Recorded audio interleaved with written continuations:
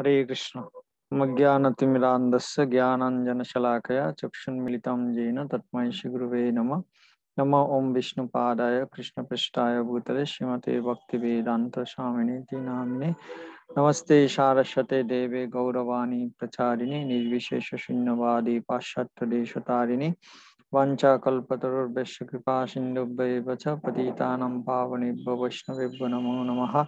नमो महावदन्नाय कृष्णप्रेमप्रदायते कृष्णाय कृष्णचैतन्य नाम्ने गौरतिशे नमः। हे कृष्ण करुणा, सिन्धौ दीनबन्धो जगत्पते, गोपेश गोपिकान्त राधाकान्त नमस्तते। तप्त काञ्चन गौराङ्गी, राधे वृन्दवनेश्वरी वृषभानुसुते देवी, प्रणमामि हरिप्रिये। जय श्री कृष्ण चैतन्य, प्रभो नित्यानंद श्री अद्वैत गदाधर शिवासादि गौर भक्त वृंद हरे कृष्ण हरे कृष्ण कृष्ण कृष्ण, हरे हरे। হরে রাম হরে রাম রাম রাম হরে হরে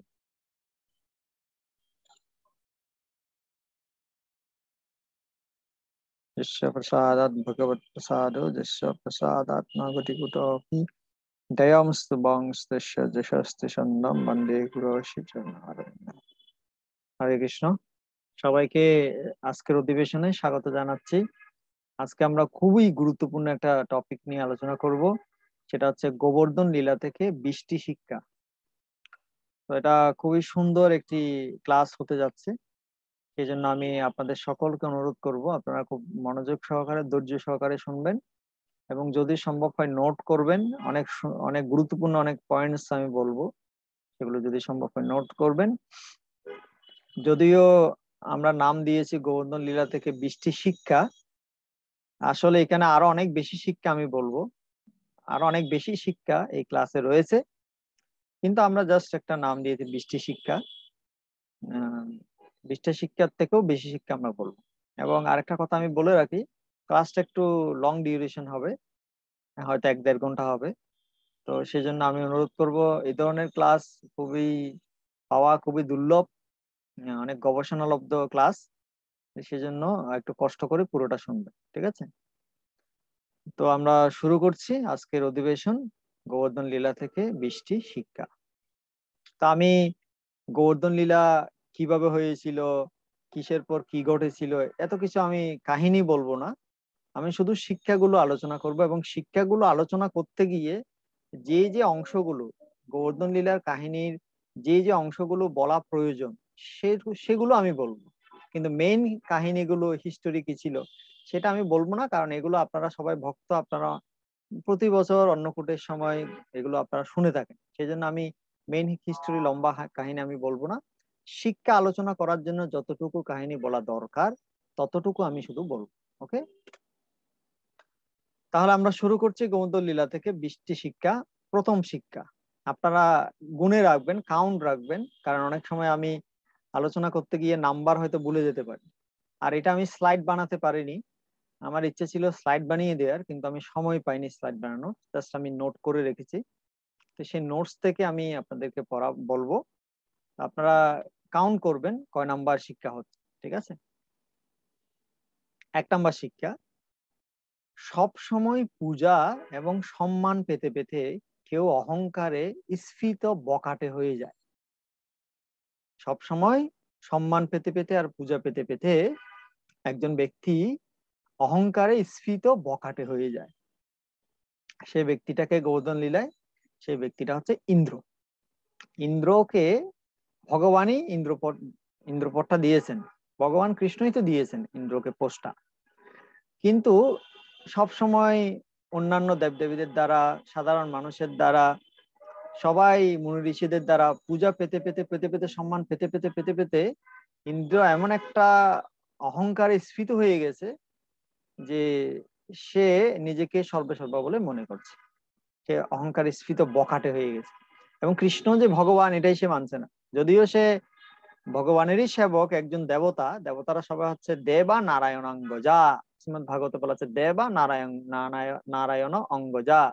নারায়ণের অঙ্গ থেকে দেবতাদের উদ্ভব, ভগবানের বাহু থেকে ইন্দ্রের উদ্ভব। কিন্তু ইন্দ্র সেই কথাটা ভুলে গেছে, অহংকার স্ফীত হয়ে গেছে। সবসময় পূজা পেতে পেতে। বিশেষ করে বৃন্দাবনবাসীরা তারা গোবর্ধন পূজা করতো না আগে সে সময়। এর আগে তারা ইন্দ্র পূজা করতো। গোবর্ধন পূজা তখনও চালু হয়নি। ইন্দ্র তখনও তখনও সবাই ইন্দ্র পূজাই করতো। তো বৃন্দাবন বাসীদের কাছ থেকে সবসময় পূজা পেতে পেতে পেতে ইন্দ্র মনে করেছে আমি হচ্ছে ঈশ্বর আমি হচ্ছে নিয়ন্তা এবং গোবর বৃন্দাবন বাসীদের উচিত আমাকে পূজা করা। এটা হচ্ছে প্রথম শিক্ষা যে সব সময় কেউ যদি পূজা পায় সম্মান পায় তাহলে সে অহংকার তার মধ্যে জন্ম নিতে পারে। এটা আমাদের মধ্যেও হতে পারে। আমরা আমাদেরকে যদি কেউ খুব বেশি সবসময় সম্মান করে আমাদেরও আমরা মনে করতে পারো আমি খুব স্পেশাল মনে হচ্ছে। নাহলে সবাই কেন আমাকে প্রণাম করছে? সবাই কেন আমাকে এত ভাবা দিচ্ছে? সেজন্য সেজন্য শিলপ্রপাত আমাদেরকে বলেছেন যে আমরা অনেক মহান হতে পারি অনেক শ্রেষ্ঠ হতে পারি সবাই আমাদেরকে সম্মান করতে পারে, পুজো দিতে পারে, কিন্তু আমাদেরকে প্রতিদিন কিছু মেনিয়াল সেবা করা আছে। তুচ্ছ সেবা করা আছে। যেমন ঘর ঝাড়ু দেয়া টয়লেট মার্জন করা, পাত্র মার্জন করা। এইভাবে যদি আমরা ছোট সেবাগুলো করি, তখন আমাদের যে অহংকার আছে না, বেলুন আছে না, যে আমি অনেক মহান, আমি অনেক শ্রেষ্ঠ, এই বেলুনটা ফুটো হয়ে যাবে। তখন আমরা আবার দীনতার সাথে সেবা সেবা করতে পারব। এটা হচ্ছে প্রথম শিক্ষা। দ্বিতীয় শিক্ষা, দুই নম্বর শিক্ষায় যাচ্ছি। আপনারা পয়েন্টসগুলো মনে রাখবেন। দুই নম্বর পয়েন্টস হচ্ছে, সবার একজন কর্তৃপক্ষ থাকা দরকার। যদি কারও কর্তৃপক্ষ না থাকে বা কেউ যদি কর্তৃপক্ষের নির্দেশ মেনে না চলে, কর্তৃপক্ষের আন্ডারে না থাকে, তাহলেই কিন্তু সে যদি একজন মহান ব্যক্তিও যদি হয়, ভালো, মহান, শ্রেষ্ঠ ব্যক্তিও যদি হয়, সে যদি কর্তৃপক্ষের আন্ডারে না থাকে কেউ যদি কারও সিনিয়র অথরিটির আন্ডারে সে যদি না থাকে, তাহলে কিন্তু সে বিপদে চালিত হওয়ার সম্ভাবনা থাকে। সে অনেক মহান ব্যক্তি হলেও বিপদে পরিচালিত হওয়ার সম্ভাবনা থাকে। যেমন ইন্দ্র একজন মহান দেবতা, সমস্ত দেবতাদের প্রধান তিনি। স্বর্গরাজ ইন্দ্র, দেবরাজ ইন্দ্র, তাই না? তিনি একজন মহান ব্যক্তি, হম? এমনকি বেদে, আপনারা যদি বেদ পড়েন, বেদে বিভিন্ন সুক্ত আছে ইন্দ্রের উদ্দেশ্যে। অনেক, শত শত সুক্ত আছে ইন্দ্রকে পূজা করার জন্য, সন্তুষ্ট করার জন্য। তো বিভিন্ন লোকেরা ইন্দ্রের কাছে প্রার্থনা করে। ইন্দ্র এত মহান ব্যক্তি, কিন্তু তার কোনো বস নেই। তিনি ভুলে গেছেন যে আমার বস আছে। তিনি তার গুরু বৃহস্পতিকে মান্য করছেন না, তিনি ভগবান কৃষ্ণকে মান্য করছেন না, তিনি কারও আন্ডারে থাকতে চাচ্ছেন না। তিনি মনে করছে আমি কর্তা, আমি বক্তা আমি অনেক কিছু পারি। তো এরকম কেউ যখন কারও কর্তৃপক্ষের আন্ডারে না থাকে হ্যাঁ কেউ যখন কারও ঊর্ধ্বতন বৈষ্ণব বা গুরু তাদের আন্ডারে না থাকে নিজেকে যদি স্বতন্ত্র বলে মনে করে সর্বে সর্বা বলে মনে করে, তখনই কিন্তু সে অনেক মহান ব্যক্তি হলো তার মধ্যে আসুরিক ভাব প্রকাশিত হয়। ইন্দ্র একজন মহান ব্যক্তি, সে কোনো অসুর না, সে দেবতাদের মধ্যে রাজা, কিন্তু তার মধ্যেও একটা আসুরিক ভাব প্রকাশিত হয়েছে যে আমি কর্তা, আমি আমি আমি বৃন্দাবনবাসীদেরকে ধ্বংস করে দেবো। ওরা কেন আমাকে পুজো করছে না? কেন কৃষ্ণের কথা শুনে এই গোবর্ধনকে পূজা করছে? আমি এমন বৃষ্টি দেব, সব বৃন্দাবনবাসীদেরকে ধ্বংস করে দেবো। তাহলে এই যে, দেখুন বৃন্দাবনে অনেক অসুরেরা এসেছিল, না? এই যে পুতনা এসেছিল, অগাসুর এসেছিল, বকাসুর এসেছিল, অনেক অসুর এসেছিল। কিন্তু কোন অসুর কিন্তু এই টার্গেট করেনি যে বৃন্দাবনবাসী সবাইকে ধ্বংস করে দেবে। এই টার্গেট কোনো অসুর করেনি। অসুরেরা পর্যন্ত এই টার্গেট করেনি যে সব বৃন্দাবনবাসীদেরকে ধ্বংস করে দেবো। ওদের টার্গেট ছিল শুধু কৃষ্ণকে ধ্বংস করবে। এটাই তাদের টার্গেট ছিল। কিন্তু ইন্দ্র একজন দেবতা হয়ে, সে অসুর না, সে একজন দেবতা হয়ে দেবতা হয়ে তার টার্গেটটা কি হলো? যে সব বৃন্দাবন বৃন্দাবনবাসী সবাইকে একদম ধ্বংস করে দেবো। সব গছ, বাড়ি, পশু, পাখি সব তসনস করে দেবো। তাহলে ওষুধদের থেকে আরও ডেঞ্জারাস মেন্টালিটি হয়ে গেছে তার। কেন হলো? কারণ সে কোনো কর্তৃপক্ষের আন্ডারে থাকতে চাইছিল না। সে কোনো সিনিয়র অথরিটির আন্ডারে থাকতে চাইছিল না। সেজন্য বলা হচ্ছে, দেখো ভাই, একটা ঘুড়ি আকাশে উড়ে, না? ঘুড়ি আকাশে উড়ে। কেন আকাশে উড়ে? যতক্ষণ সে ঘুড়িটা নাটাইয়ের সাথে যুক্ত থাকে নাটাই গুড়িটাকে যতক্ষণ কন্ট্রোল করে, গুড়িটা অনেক উপরে উঠতে পারে, অনেক উপরে উঠতে পারে। যতই উপরে উঠুক নাটাইয়ের সাথে সংযুক্ত তাকে রাখতে হবে। কিন্তু যখনই গুড়ি মনে করবে, না, আমি এখন স্বাধীন, আমি এখন স্বতন্ত্র, আমি যা ইচ্ছা তাই করতে পারি নাটাইয়ের সাথে সংযোগ আমার দরকার নেই, আমি কারও দ্বারা নিয়ন্ত্রিত হতে চাই না, আমি কর্তা, আমি বক্তা। এরকম যখন সে মনে করবে নাটাইয়ের সাথে ছিঁড়ে যাবে সংযোগটা, যতই আকাশের উপরে থাকুক না কেন, সে নিচে দপাস করে পড়ে যাবে, তার তার অধপতন নিশ্চিত ভাবে হবে। এই জন্য নাটাই মানে কি? নাটাই মানে গুরু, কৃষ্ণ, বৈষ্ণব, আমাদের কর্তৃপক্ষ যাদের আন্ডারে আমরা আছি। আমরা অনেক মহান হতে পারি, আমরা অনেক উপরে চলে যেতে পারি, অনেক শ্রেষ্ঠ হতে পারি, আমরা ঘুড়ির মতো আকাশের উপরে উঠে যেতে পারি, কিন্তু আমাদেরকে নাটাইয়ের নিয়ন্ত্রণে থাকতে হবে, কর্তৃপক্ষের নিয়ন্ত্রণে থাকতে হবে। তা না হলে আমরা বেশি দূর উঠতে পারব না, আবার দফাস করে অধপতন এটা হচ্ছে দ্বিতীয় শিক্ষা, তিন নাম্বার শিক্ষা যে কখনো নিজেকে সর্বশক্তিমান বা স্বনিয়ন্ত্রিত ভাবা উচিত না। যে আমি সর্বশক্তিমান, আমি স্বতন্ত্র ঈশ্বর, আমি কারও দ্বারা নিয়ন্ত্রিত হওয়ার দরকার নেই, আমি সবকিছু নিজে সিদ্ধান্ত নিতে পারি, আমি নিজে সবকিছু করতে পারি।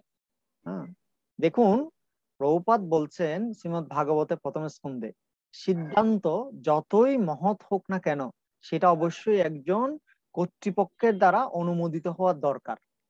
আপনি খুব ভালো সিদ্ধান্ত নিয়েছেন, একদম পারফেক্ট সিদ্ধান্ত নিয়েছেন, একদম বেস্ট সিদ্ধান্ত নিয়েছেন। আপনি জানেন এখানে কোনো কিছু খারাপ হবে না সিদ্ধান্ত।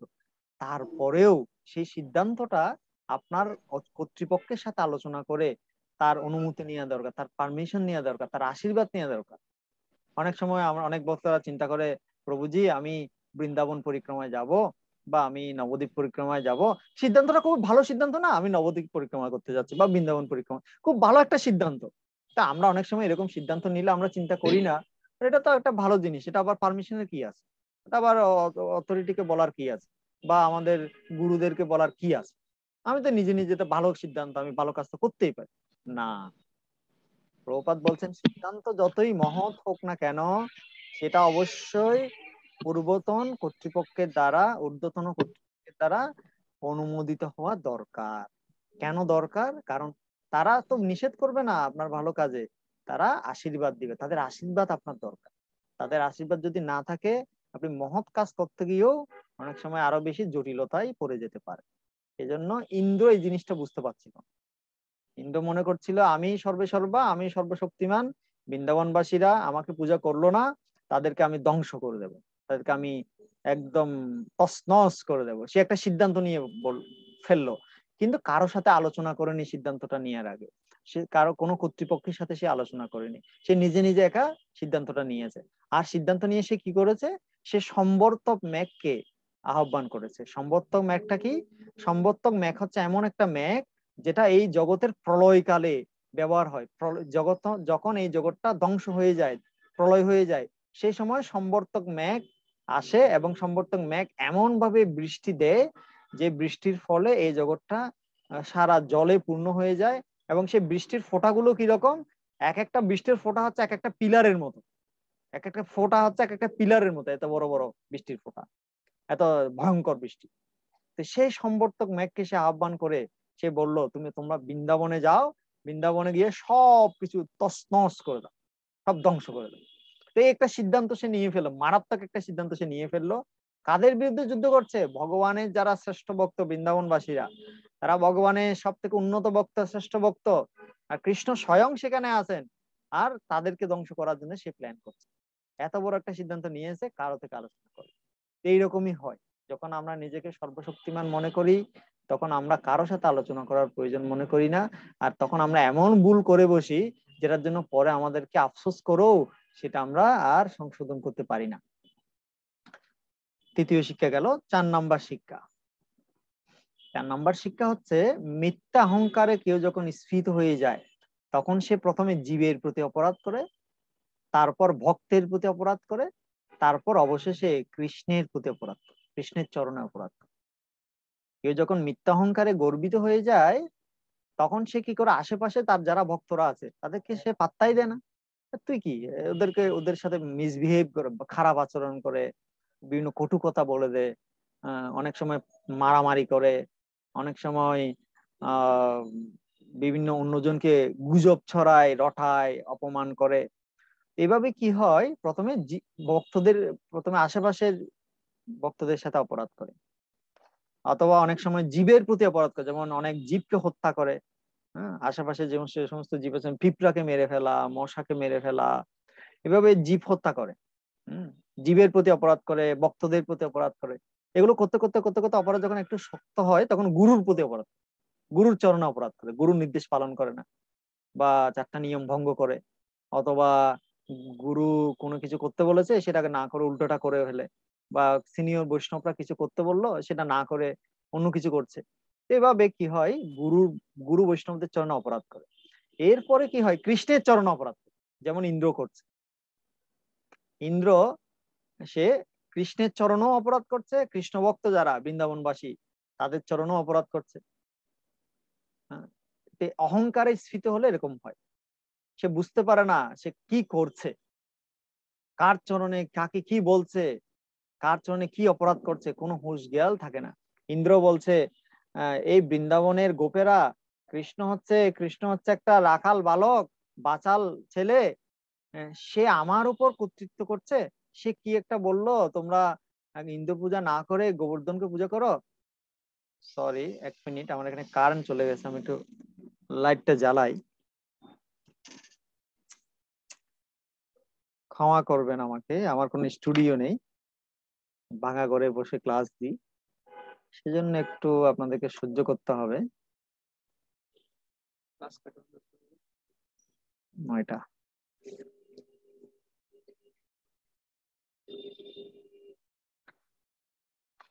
ওকে জানি না কতটুকু বোঝা যাচ্ছে, যতটুকু বোঝা যায় এতটুকুতেই দিতে হবে।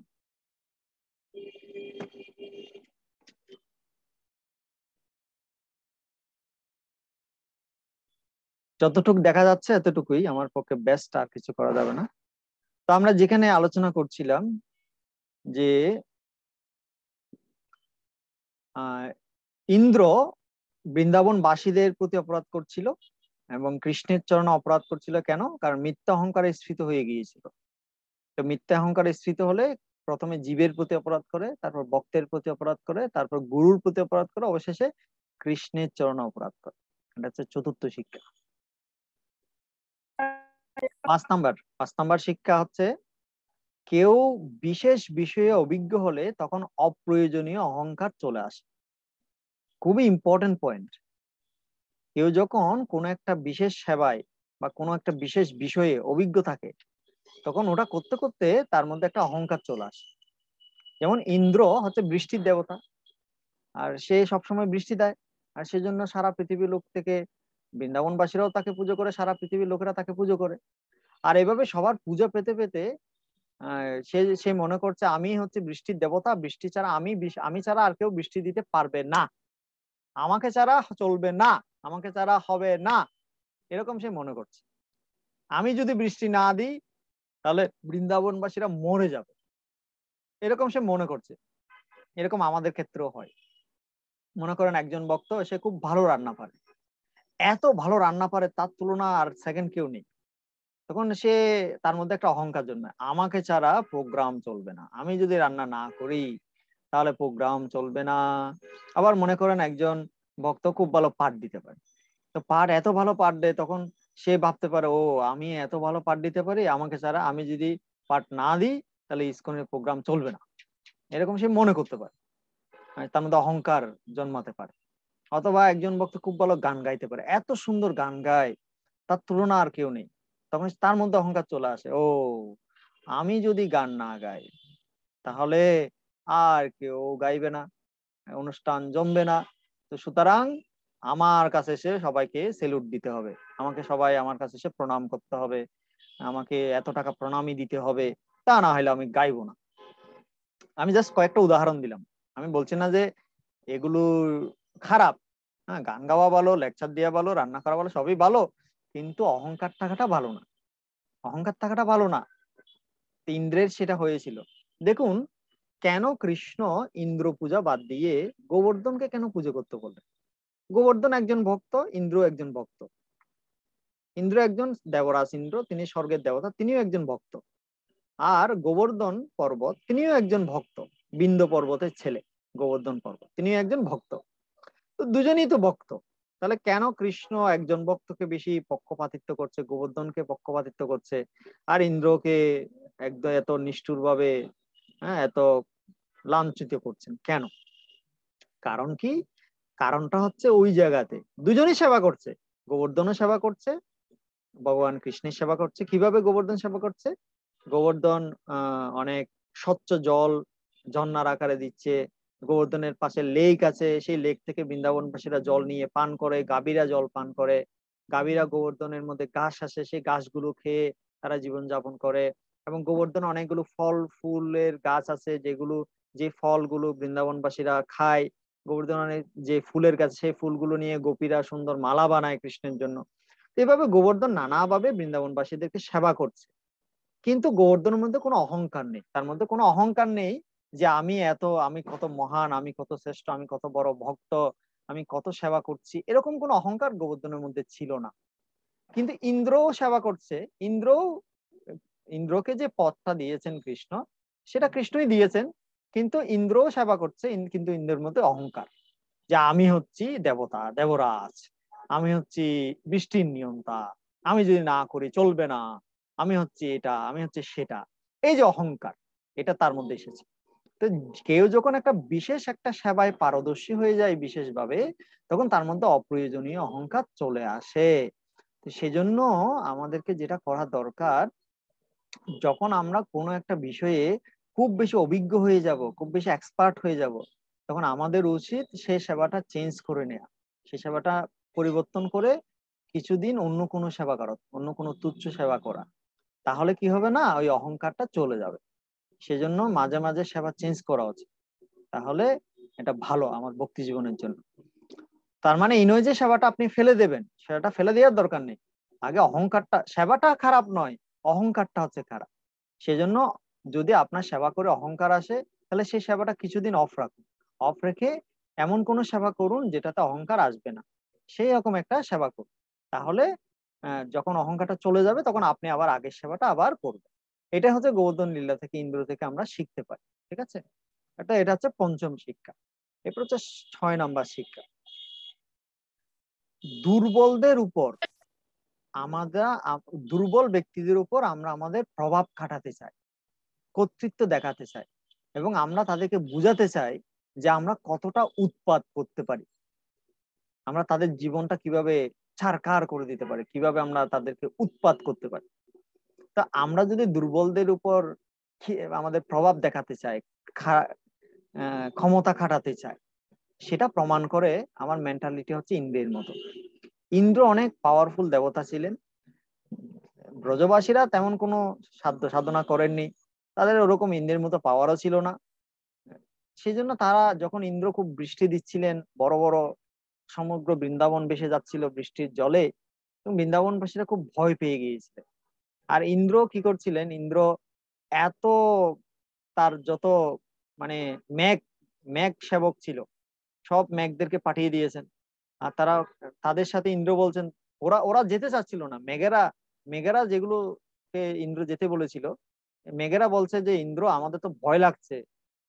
সেখানে কৃষ্ণ আছে। কৃষ্ণ খুব যে কোনো কিছু করতে পারে আমাদের ভয় লাগছে। তো ইন্দ্র বলল না না তোমরা ভয় পেও না। তোমাদের পিছনে পিছনে পিছনে আমিও আসতেছি। আমিও আমার শক্তি প্রদান প্রয়োগ করব তোমাদের সাথে। তো এইভাবে সে দুর্বলদের উপর বৃন্দাবনবাসীরা সব দুর্বল। তারা সাধারণ ইনোসেন্ট নিষ্পাপ ব্যক্তি। তারা এত কিছু বুঝে না। তারা কৃষ্ণকে ভালোবাসে, সেজন্য কৃষ্ণের কথায় রাজি হয়ে তারা ইন্দ্র পূজা বন্ধ করে দিয়েছে। কিন্তু ইন্দ্র সেটা ইগোতে ইগোতে লেগেছে। সে সেটা সহ্য করতে পারছে সে নিজেও এসেছে এবং তার সমস্ত ম্যাগ সেবক সেবিকাদেরকে নিয়ে এসেছে বৃন্দাবন বাসীদেরকে অত্যাচার করার জন্য। তো কেউ যখন এরকম দুর্বলদের উপর উৎপাত উৎপাত করতে চায়, দুর্বলদের উপর প্রভাব খাটাতে চায় সেটা প্রমাণ করে সে একজন ইন্দ্র মেন্টালিটি তার মেন্টালিটি হচ্ছে ইন্দ্রের মতো। হ্যাঁ? সে উৎপাত করছে। সেজন্য দেখুন, আমাদেরকে একটা ভগবান অনেক সময় আমাদেরকে একটা পোস্ট দেয়, পদ দেয় হ্যাঁ? টেম্পল প্রেসিডেন্ট বা টেম্পল ম্যানেজার ডিপার্টমেন্ট হেড এরকম আমাদেরকে অনেক সময় সেবা করতে গিয়ে ইসকন আমরা কোনো পোস্ট পাই। তো পোস্ট পেয়ে আমরা যদি সেটাকে মিসইউজ করি, আমরা যদি সেটাকে অপব্যবহার করি, আমরা যদি সেটাকে ব্যবহার করি সাধারণ নিরীহ ভক্তদের নির্যাতন করার জন্য বা তাদেরকে শোষণ করার জন্য, তাদেরকে কষ্ট দেওয়ার জন্য। তো সেটা প্রমাণ করে আমাদের মেন্টালিটি হচ্ছে ইন্দ্রের মতো। আমরা আমরা পথ পেয়ে সেটাকে অপব্যবহার করছি, সাধারণ ভক্তকে কষ্ট দিচ্ছি। তো এরকম পোস্ট বেশি দিন থাকবে না। যেভাবে কৃষ্ণ ইন্দ্রের অহংকারটা চূর্ণ করলেন, সেরকম আমরা যদি মিসইউজ করি, তাহলে কৃষ্ণ আমাদের অহংকারটাও চূর্ণ করবেন দ্যাট ইজ শিওর ওকে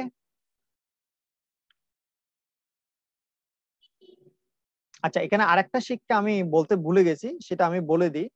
এটা যদি আমাদের বিশটা শিক্ষার মধ্যে নেই, কিন্তু এটাও একটা শিক্ষা। সেটা হচ্ছে কি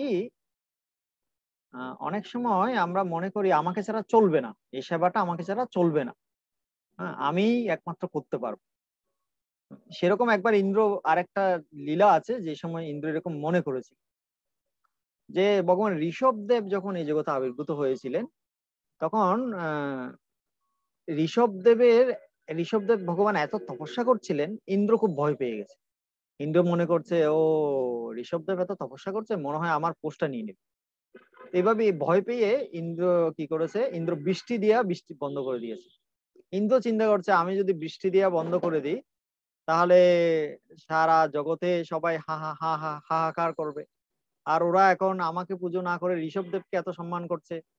ভগবান ভগবান বলে ঋষভ দেবকে সম্মান করছে। তো ওরা, আমি যদি জল বৃষ্টি দিয়া বন্ধ করে দিই, তাহলে ওরা আর ঋষভ দেবকে সম্মান না করে আমাকে সম্মান করবে, আমাকে পুজো করবে। আর তখন আমি বৃষ্টি দেবো। তো সেই মনে করেছিল তাকে ছাড়া বৃষ্টি ছাড়া, জল ছাড়া, সারা জগতের লোকেরা ঋষভ দেবকে আর ডাকবে না। ঋষভ দেবও বিপদে পড়ে যাবে। তখন সবাই মিলে ঋষভ দেব সহ তাকে প্রার্থনা করবে ইন্দ্রের কাছে। এরকম সে মনে করেছিল, ইন্দ্র মনে করেছিল। তখনও ইন্দ্রের মধ্যে একটা এরকম অহংকার এসেছিল।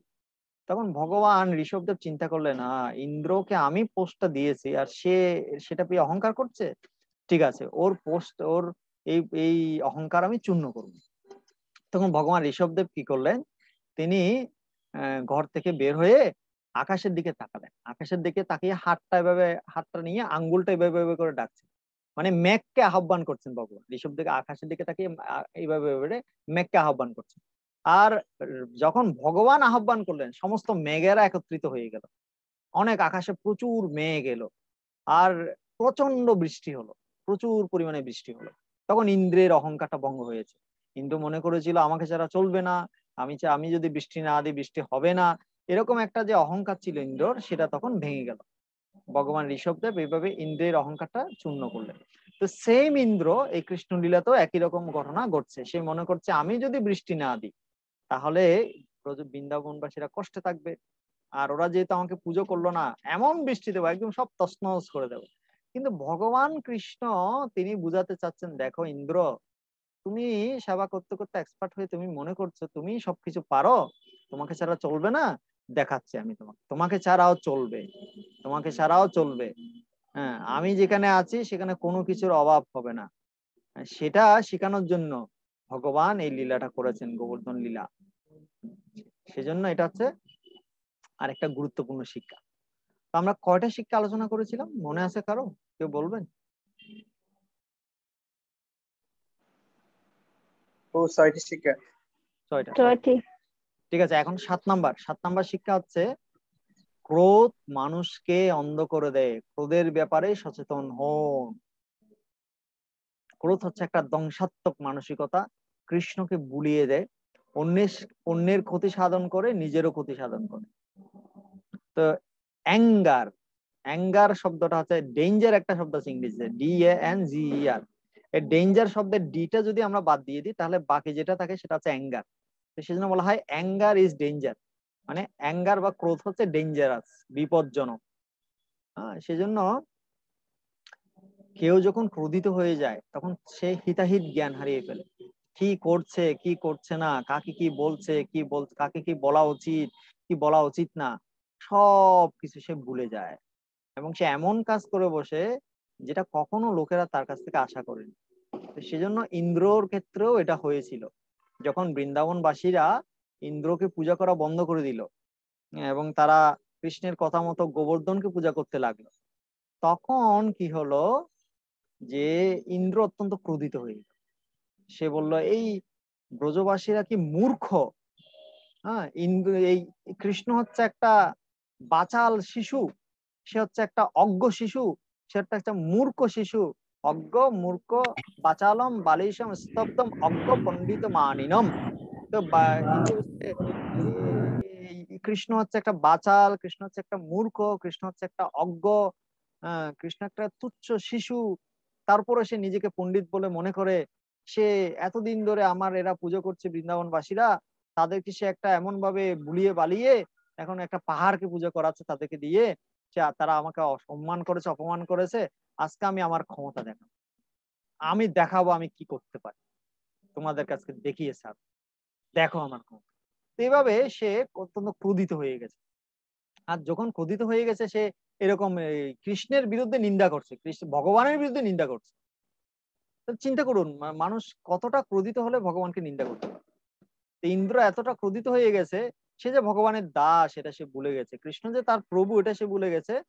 আর সে এইভাবে কৃষ্ণের নিন্দা করছে, ব্রজবাসীদের নিন্দা করছে, এরকম হয়। ক্রোধিত হলে মানুষ অন্ধ হয়ে যায়। কাকে কি বলছে, কাকে কি কি করা উচিত, কি করা উচিত না হ্যাঁ সব কিছু সে ভুলে যায়। উঁচু নিচু তফাত ভুলে যায় এবং সে এমন কাজ করে বসে যেটার জন্য তাকে পরে মাসুল দিতে হয়।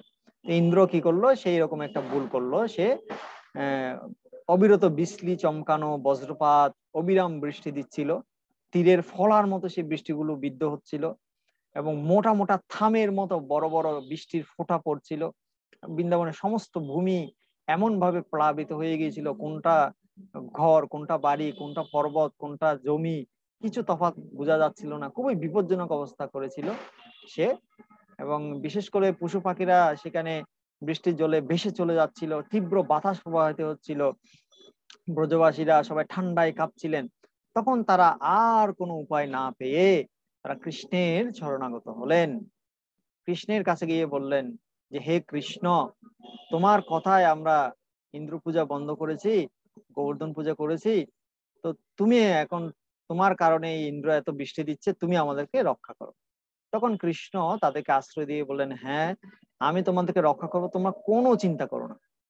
তোমরা আমার কাছে এসেছ, আমি তোমাদেরকে অবশ্যই রক্ষা করব। আমি গীতায় বলেছি, নমে ভক্তা প্রণস্বতী আমার ভক্তির কখনো বিনাশ হবে না। এটা হচ্ছে পরবর্তী শিক্ষা বলছি, আট নম্বর শিক্ষায় চলে এসেছে। আট নম্বর শিক্ষা দেখি যে, যখন আমরা ব্রজবাসীরা যেভাবে বিপদে পড়েছিল, সেভাবে আমরাও যদি বিপদে পড়ি, তাহলে ব্রজবাসীরা যেভাবে কৃষ্ণের শরণাগত হয়েছিল আমাদেরকেও সেভাবে কৃষ্ণের শরণাগত হতে হবে। কৃষ্ণ ভক্তদের জীবনে অনেক সময় দেবদেবীরা অনেক বিপদ আপদ দিয়ে থাকে পরীক্ষা করার জন্য। কৃষ্ণ ভক্তরা, সে ঐকান্তিক কৃষ্ণ ভক্ত কিনা?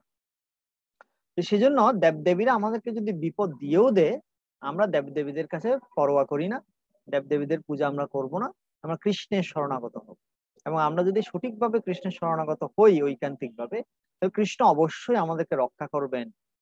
এটা হচ্ছে পরবর্তী শিক্ষা, যে বিপদে আসলে গোবিন্দের চরণে স্মরণ নিতে হবে। এটা চার নাম্বার শিক্ষা। নয় নাম্বার শিক্ষা হচ্ছে, এই লীলাটার মাধ্যমে কৃষ্ণ আমাদেরকে শিখাতে চান যে দেখো, তুমি যদি আমার ভক্ত হও মা একং শরণং ব্রজ, একমাত্র আমার ভক্ত হও, ন অন্যম, অন্য কোনো অন্য কোনো দেবদেবীর পুজো করার আর দরকার নেই। তুমি যদি কৃষ্ণ ভক্ত হও, তাহলে দেবদেবী পুজো করার আর কোনো দরকার নেই। বৃন্দাবনবাসীরা ইন্দ্র পূজা করছিল কৃষ্ণ চিন্তা করছেন আমি স্বয়ং এসে গেছি। ওরা আমাকে পুজো না করে কৃষ্ণ ইন্দ্রকে পুজো করছে কেন? এরা সবাই আমার শুদ্ধ ভক্ত কেবলা ভক্ত, ওরা কেন ইন্দ্র পূজা করবে ওরা কেন দেবদেবী পূজা করবে সেই জন্য কৃষ্ণ এই পুরো কাহিনীটা সাজালেন, যে ওরা যেন দেবদেবী পূজাটা ছেড়ে দেয়। সেজন্য একমাত্র কৃষ্ণকে পূজা করে, একমাত্র কৃষ্ণ শরণাগত থাকে, একমাত্র কৃষ্ণ ভক্তি করে। এই জিনিসটা শেখানোর জন্য কৃষ্ণ এই পুরো লীলাটা করলেন গোবর্ধন লীলা। হ্যাঁ কৃষ্ণ চান, তার ভক্তরা যেন হান্ড্রেড পার্সেন্ট কৃষ্ণ ভক্তি করে, অন্য দেবদেবীর পুজো যেন না করে। তো এটা এটা চান কৃষ্ণ। তো সেজন্য কৃষ্ণ এই ব্রজবাসীদেরকে ইন্দ্র পূজাটা বন্ধ করিয়েছেন।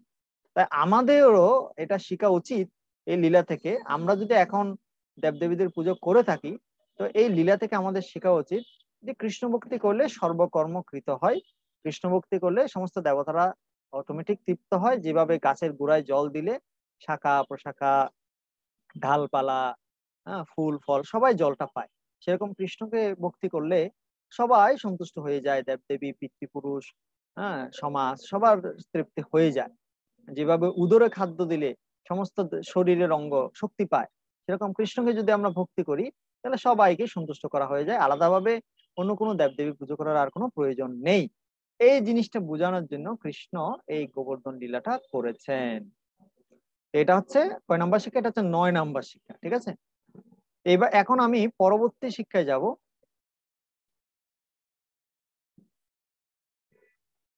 আট, নয় নাম্বার, দশ নাম্বার শিক্ষা। দশ নাম্বার শিক্ষা হচ্ছে ভগবান একজন এক্সপার্ট ডাক্তার ভগবান একজন এক্সপার্ট ডক্টর তিনি জানেন ভক্তের হৃদয়ে যে অহংকারটা জন্মেছে, সেটাকে কীভাবে ট্রিটমেন্ট করলে সে অহংকারটা দূর হবে? তো ভগবান একজন দক্ষ ডাক্তার, তিনি জানেন কোন ভক্তকে কীভাবে পরিস্থিতিতে ফেললে তার অহংকারটা চূর্ণ হবে। এটা ভগবান খুব ভালোভাবে চান হম? সেজন্য তাকে বলা হয় দর্পহারী মধুসূদন। ভগবান ভক্তের সবকিছু সহ্য করেন, কিন্তু এই অহংকারটা তিনি সহ্য করেন না। ভগবান চান না তার ভক্ত কখনো অহংকারী হোক। সেই জন্য তাকে বলা হয় দর্পহারী। তিনি দর্পকে হরণ করেন। সেজন্য তার নাম হচ্ছে দর্পহারী, মধুসূদন। সেজন্য ইন্দ্র যে পূজা পেতে পেতে অহংকারে হয়ে গেছে এবং অহংকারে হয়ে বৃন্দাবনে প্রচুর জল বর্ষণ করছে, শিলা বর্ষণ করছে। যখন, যদিও তখন বর্ষাকাল ছিল না তবুও শিলা, তীব্র বাতাস এবং বৃষ্টি বর্ষণ করছে। কৃষ্ণ বুঝতে পেরেছিলেন যে ইন্দ্র এটা ইচ্ছে করে করছে। ইন্দ্র ইচ্ছে করে এই ক্ষয়ক্ষতি করছে। সেজন্য কৃষ্ণ তিনি সিদ্ধান্ত নিলেন যে আমি ইন্দ্রকে বুঝাবো যে সে যে নিজেকে সব থেকে শ্রেষ্ঠ দেবতা বলে মনে করছে হ্যাঁ এটা হচ্ছে ভুল। সে শ্রেষ্ঠ নয়। আমি আমার অবস্থানে থেকে আমি উত্তর প্রদান করব। আমি আমার অবস্থানে থেকে ইন্দ্রকে আমি উত্তর দেব। তাকে আমি শিক্ষা দেব। সে আসলে নিয়ন্তা নয়, আসল নিয়ন্তা হচ্ছে আমি। সে স্বতন্ত্র নয়, সে আমার অধীন। এটা আমি তাকে শিক্ষা দেব। ভগবান হিসেবে আমার স্থান হচ্ছে সবার উপরে। সেজন্য ইন্দ্রের মিথ্যা অহংকার আমি চূর্ণ করব। তার শক্তির ফলে সে এখন বেশি গর্বান্বিত হয়ে গেছে। তার গর্বটাকে আমি খর্ব করব। দেবতারা হচ্ছে আমার ভক্ত। হ্যাঁ তারা যেহেতু আমার ভক্ত তাই তারা আমার আমাকে স্মরণ করবে এটাই স্বাভাবিক। হ্যাঁ, আমাকে ভুলে যাবে না এটা স্বাভাবিক। কিন্তু ইন্দ্র সে এত অহংকারী হয়ে গেছে সে উন্মাদ হয়ে গেছে পাগল হয়ে গেছে। সে যেহেতু পাগল হয়ে গেছে তাকে আমি একটা শিক্ষা দিব তাকে আমি একটা লেসন দিব। সে লেসন দেওয়ার জন্য কৃষ্ণ তিনি ইন্দ্রের এই অহংকার চূর্ণ করার সিদ্ধান্ত নিয়েছেন এবং তিনি গোবর্ধন পর্বতকে ধারণ করেছেন বাম হাতের কনিষ্ঠ আঙ্গুল দিয়ে। বাম হাতের কনিষ্ঠ আঙ্গুল দিয়ে গোবর্ধন পর্বতকে কৃষ্ণ ধারণ করেছেন। তো বাম হাতের কনিষ্ঠ আঙ্গুল দিয়ে কেন ধারণ করলেন? এটারও একটা, এটা হচ্ছে আরেকটা শিক্ষা। এটা হচ্ছে কত এতক্ষণ নয় নাম্বার বললাম মনে হয় না? এখন হচ্ছে দশ নাম্বার। তো দশ নম্বর শিক্ষা হচ্ছে, ভগবান কি করেন? ভগবান যখন লীলা করতে চান, ভগবান এমন ভাবে লীলাটা করেন যে সেটা ভগবান ছাড়া আর কেউ করতে পারেন কৃষ্ণের পুরো হাত ছিল, পুরো দেহ ছিল হ্যাঁ? কিন্তু তিনি কোনো কিছুকে ব্যবহার করলেন না। বাম হাতের কনিষ্ঠ আঙ্গুল, যেটা হচ্ছে সব থেকে দুর্বল আঙ্গুল। আমাদের যত আঙ্গুল আছে, দেহের সব থেকে দুর্বল অংশ, সেটা হচ্ছে বাম হাতের কনিষ্ঠ আঙ্গুল। তো সেই আঙ্গুলটা কৃষ্ণ ব্যবহার করলেন গোবর্ধন পর্বতকে তোলার জন্য। গোবর্ধন পর্বতটা কত এখন তো বৃন্দাবনে গেলে আমরা গোবর্ধন পর্বত দেখি, সেটা অনেক ছোট হয়ে গেছে। কুলস্তমুনির অভিশাপে গোবর্ধন পর্বত প্রতিদিন তিল পরিমাণ ক্ষয় হয়। সে কারণে এখনকার যে গোবর্ধন পর্বত, সেটা অনেক ছোট। কিন্তু কৃষ্ণ যখন ছিলেন, তখন গোবর্ধন পর্বত অনেক বড় সাইজের ছিলেন। চৌষট্টি কিলোমিটার লম্বা এবং ষোলো কিলোমিটার উঁচু। এত বিশাল পর্বত ছিল। তো সেই জন্য কৃষ্ণ এত বিশাল পর্বত বাম হাতের কনিষ্ঠাঙ্গল দিয়ে তুলে ধরেছিলেন এবং সাত দিন সাত রাত ধরে রেখেছি এটার দ্বারা ভগবান কি বুঝালেন? ভগবান কৃষ্ণকে, কৃষ্ণ বুঝাচ্ছেন, ইন্দ্র তুমি মনে করছ তুমি এত মহান, তুমি এত শ্রেষ্ঠ? দেখো আমি কি করতে পারি সেটা দেখ। আমি আমার দেহের সব থেকে দুর্বল অঙ্গটাকে ব্যবহার করব তোমার এত বড় পাহাড়ের মতো অহংকারকে চূর্ণ করার তো ভগবান হচ্ছেন এরকম। তিনি খুব তুচ্ছ একটা গাছকে ব্যবহার করে অহংকারকে চূর্ণ করতে পারে ভগবান এরকম পারে তার এরকম ক্ষমতা আছে। তো সেজন্য কখনো অহংকারী হবেন না। ভগবান একটা গাছ দিয়ে আপনার অহংকার চূর্ণ করে দিতে পারেন। সেরকম একটা লীলা আছে না? ওই যে ভগবানের ইচ্ছে ছাড়া একটা গাছ নড়ে না কেন উপনিষদের এরকম একটা গল্প আছে? দেবতাদের মধ্যে অহংকার হয়েছিল, তখন ভগবান যক্ষ রূপে এসেছিলেন। আর তাদেরকে বলেছিলেন পবনদেবকে বলছেন, এই গাছটা একটু উড়াও দেখি। পবনদেব উড়াতে পারেনি। অগ্নিদেবকে বলছেন, তুমি এই গাছটা পুরাও দেখি। অগ্নিদেব পুরাতে পারেন। তো ভগবানের যদি ইচ্ছা না হয়, একটা ঘাসও উড়ে না আমাদের কি ক্ষমতা আছে? আমরা অহংকার করি অনেক সময়, আমাদের কি ক্ষমতা আছে? সেজন্য ভগবান আমাদেরকে শিখাচ্ছেন হ্যাঁ যে অহংকার করো না। আমি তোমার অহংকার যে একটা ফু মেরে উড়িয়ে দিতে পারব। আমি এমন খুব তুচ্ছ জিনিস দিয়ে তোমার অহংকার চূর্ণ করতে পারব। এটা হচ্ছে দশম শিক্ষা। এবার এগারোতম শিক্ষা। এগারোতম শিক্ষা হচ্ছে যে কি? যে ভগবান যে ভগবান, তিনি যে ভগবান, সেটা প্রমাণ করলেন গৌতম লীলার মাধ্যমে। তিনি ছোট শিশু, সাত বছর বয়স। হ্যাঁ তিনি একটা বাচ্চা শিশু যেভাবে একটা মাশরুমকে তুলে ধরে। অনেক আমাদের ঘরের আশেপাশে অনেক সময় মাশরুম জন্মায়, ছোট ছোট মাশরুম, ব্যাঙের ছাতা। তো একটা বাচ্চা শিশু যদি মাশরুম বা ব্যাঙের ছাতা তুলে কষ্ট হয় নাকি? কোনো কষ্ট হয় না, একদম অনায়াসে তুলে। ঠিক সেরকম ভাবে কৃষ্ণ এত বিশাল গোবর্ধন পর্বতকে তুলে ধরেছিলেন। এটার দ্বারা কৃষ্ণ বললেন যে, দেখো তোমরা এই জগতে অনেকে নিজেকে ভগবান বলে দাবি করছ। তোমরা বলছো, আমি হচ্ছে ঈশ্বর, আমি হচ্ছে কলকি অবতার, আমি হচ্ছে পরম ব্রহ্ম। তোমরা নিজেকে ভগবান বলে দাবি করছ? কিসের ভগবান তুমি? তুমি নিজেকে গোপীজন বল্লভ বলে দাবি করছ? তুমি গোপীদের ঈশ্বর হতে চাইছো? তুমি মেয়েদের সাথে রাসলীলা করতে চাইছো? খুব ভালো কথা।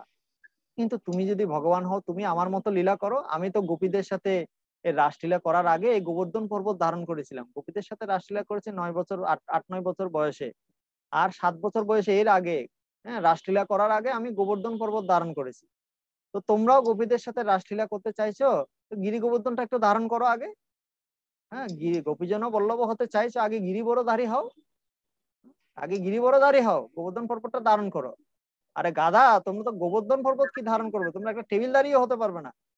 তোমরা একটা বাম হাতে কনিষ্ঠাঙ্গল দিয়ে একটা টেবিল ধারণ করতে পারবে না, তোমরা নিজেকে ঈশ্বর বলে দাবি করছ। কিসের ঈশ্বর তুমি?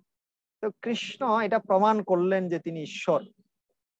এবং ভবিষ্যতে কেউ যেন নিজেকে ঈশ্বর বলে দাবি করতে না পারে, সেজন্য তিনি একটা স্ট্যান্ডার্ড সেট করে স্ট্যান্ডার্ড সেট করলেন। তিনি একটা মানদণ্ড স্থাপন করলেন যে কেউ যদি ঈশ্বর হতে হয়, তার কি গুণ থাকা উচিত?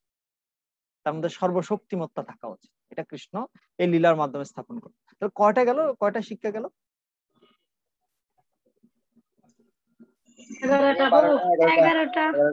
ওকে এগারোটা। এরপর হচ্ছে বারো নম্বর শিক্ষা। বারো নম্বর শিক্ষা হচ্ছে যে কৃষ্ণ যখন গোবর্ধন পর্বটা তুলে ধরেছিলেন তখন চারিদিকে প্রচুর বৃষ্টি হচ্ছিল এবং কৃষ্ণ বৃন্দাবনবাসী সবাইকে বলেছিলেন যে, তোমরা সবাই এই গোবর্ধন পর্বতের নিচে এসে আশ্রয় নাও। তখন সমস্ত বৃন্দাবনবাসীরা কৃষ্ণের কথা মতো সেই গোবর্ধন পর্বতের নিচে আশ্রয় নিয়েছিলেন। এবং তখন কৃষ্ণ কি করেছিলেন? তার যে সাপ, অনন্তনাগ অনন্তনাগ, কৃষ্ণের সেবক, মহাবিষ্ণু যে অনন্তনাগের উপর শুয়ে থাকে, কৃষ্ণ সেই অনন্তনাগকে আদেশ করলেন হে অনন্তনাথ তুমি আসো। তুমি এই গোবর্ধন পর্বত যেটা আমি ধরেছি, এটা চারিদিকে তুমি পেঁচিয়ে রাখো। যাতে ইন্দ্র যে বজ্রের মতো, থামের মতো শিলার বৃষ্টি করছে, ভয়ঙ্কর বৃষ্টি করছে, সেগুলো যেন এই পর্বতকে ক্ষতি করতে না পারে, ব্রজবাসীদের ক্ষতি করতে না পারে। আর তুমি কি করো, এই পর্বত আমরা, আমি যে পর্বতটা ধরে আছি, এটা চারিদিকে তুমি একটা গোল হয়ে, বৃত্ত হয়ে পেঁচিয়ে থাকো। যাতে বৃষ্টির একটা জলও, এক ফোঁটা জলও যেন এই আমি যেখানে লীলা করছি, গোবর্ধন পর্বত ধরা আছে, এখানে যেন কোনো জল যেন ঢুকতে না পারে, সবাই যেন নিরাপদে থাকে। এভাবে কৃষ্ণ সমস্ত ব্রজবাসীদেরকে, তাদের গাবিগুলোকে সবাইকে কৃষ্ণ রক্ষা করেছিলেন কৃষ্ণের এই ভয়ঙ্কর উৎপাত থেকে। সরি ইন্দ্রের এই ভয়ঙ্কর উৎপাত থেকে। এখান থেকে আমরা কি শিখতে পারি? আমরা যদি কৃষ্ণের শরণাগত হই, আমাদেরকে একটা বিশ্বাস অবশ্যই রাখতে হবে, সেটা হচ্ছে অবশ্য রক্ষিবে কৃষ্ণ বিশ্বাস ও পালন। যে কৃষ্ণ অবশ্যই আমাকে রক্ষা করবে। আমার কাজ হচ্ছে কৃষ্ণের শরণাগত হওয়া, কৃষ্ণের কাছে প্রার্থনা করা এবং যদি কৃষ্ণের কাছে প্রার্থনা করি, কৃষ্ণের শরণাগত হই, কৃষ্ণ অবশ্যই আমাকে রক্ষা করবেন এই বিশ্বাস আমাদের থাকতে হবে। এটা হচ্ছে বারো নম্বর শিক্ষা। তারপর তেরো নম্বর শিক্ষা হচ্ছে যে, কৃষ্ণ যখন গোবর্ধন পর্বতকে ধারণ করেছিলেন, তখন কৃষ্ণ বাঁশি বাজাচ্ছিলেন। এক হাতে তো আঙ্গুলে ধরে আছে, আর আরেক হাতে কৃষ্ণ বাঁশি বাজাচ্ছে। আর কৃষ্ণ কে বাঁশি বাজাতে দেখে কিছু কিছু গোপ গোপ গোপীরা বলছে, কৃষ্ণ, তুমি এখন বাঁশি বাজিও না। বাঁশি বাজানো বন্ধ করে দাও। কেন বাঁশি বাজানো বন্ধ করে দাও? কারণ তুমি যদি বাঁশি বাজাও না, তাহলে এখানে গোপীরা সবাই তোমার দিকে তাকাবে, তুমি গোপীদের দিকে তাকাবে, তুমি গোবর্ধনের ধারণ করার কথা ভুলে যাবে। তুমি হয়তো পাহাড়টা তোমার হাত থেকে পরে স্লিপ পেয়ে আমরা সবাই চাপা পেয়ে মারা যাব। হয়তো ইন্দ্রের বৃষ্টিতে আমরা মরবো না, কিন্তু তুমি যদি কোনো কারণে পাহাড়টাকে ছেড়ে দাও না, তখন আমরা সবাই চাপা পরে মরে যাব। তখন তখন কৃষ্ণ হাসছেন, মুচকে হাসছেন। তিনি চিন্তা করছেন যে এরা কত ভয় পাচ্ছে, আমি তাদেরকে আনন্দ দিতে চাইছি, কিন্তু তারা ভয় পাচ্ছে। কৃষ্ণ তখন কিছু বললেন না। তখন বলরাম বললেন বলরাম বললেন যে হে ব্রজবাসীরা, তোমরা ভয় পেও না। কৃষ্ণ বাঁশি বাজালে কোনো ক্ষতি হবে না। বরং তোমরা আরও আনন্দ পাবে। বাঁশির ধ্বনিতে কৃষ্ণের বাঁশি এত মহান, এত শ্রেষ্ঠ যে কৃষ্ণের বাঁশির ধ্বনি কৃষ্ণ যখন বংশীধ্বনি করেন, ব্রহ্মার ধ্যান ভেঙে যায়, শিবের তপস্যা ভেঙে যায়, তারাও বংশীধ্বনি শুনেন, কৃষ্ণের বাসে এত মহান। তো তোমরা কৃষ্ণের বাসি শুনো, আর আমরা আজকে এই গোবর্ধন পর্বতের নিতে সাত দিন ফেস্টিভ্যাল হবে ফেস্টিভ্যাল মহোৎসব মহোৎসব হবে।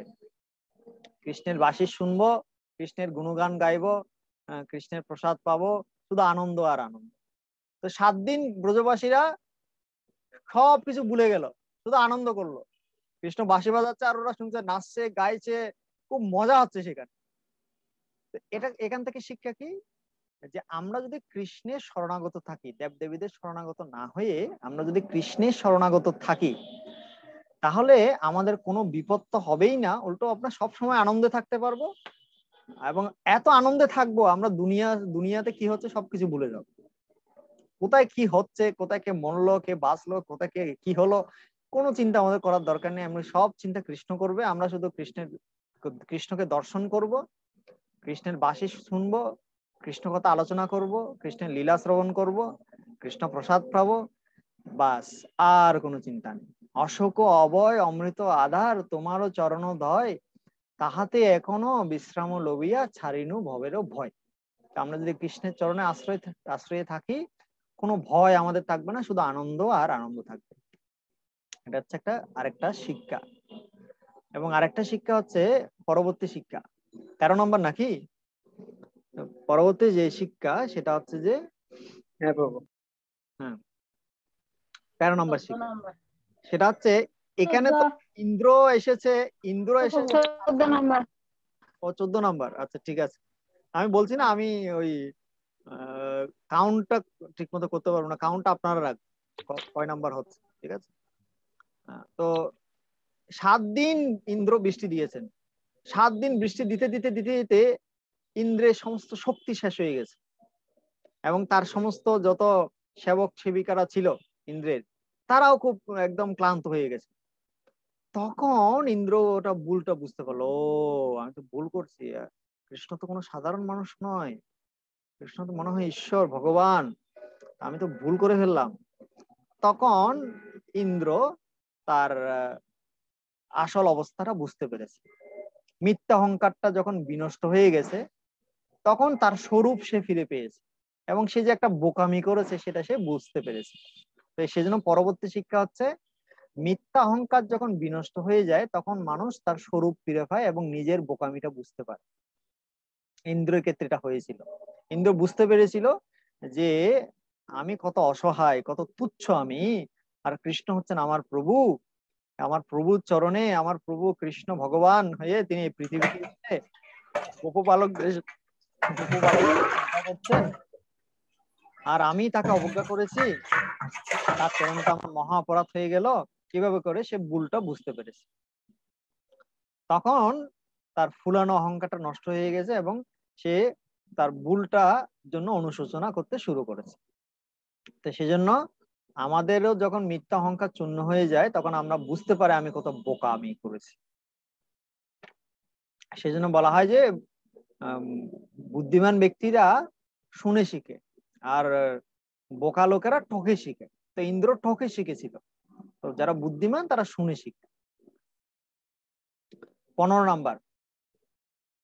অনেক সময় কেউ যখন খুব গর্ব, গর্বান্বিত হয়ে যায়, কেউ যখন খুব বেশি দাম্বিক হয়ে যায়, সে তখন মনে করে কি, জ্যেষ্ঠ ভক্ত, গুরুদেব বা ভগবান, তারা হচ্ছে আমার প্রতিদ্বন্দ্বী। তারা আমার সাথে কম্পিটিশন করতে চায়।